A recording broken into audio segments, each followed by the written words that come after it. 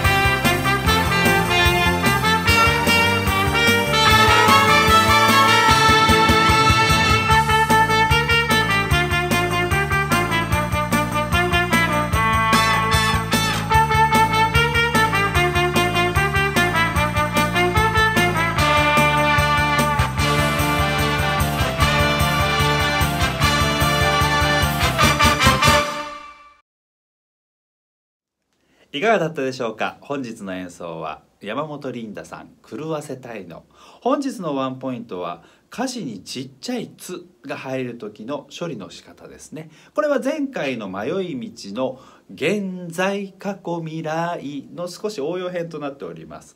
えー、今回の歌詞はですね「ぼやぼやしてたら私は誰かのいい子になっちゃうよ」ここの部分ですね「なっちゃうよ」まあなっちゃうよって歌えばいいんです。はいというわけで四分音符にスタッカートがつく。こういう時にスタッカートを使うんですね。歌物をトランスポーズする際には、えー、こんなことを少し意識してみたらいかがでしょうか。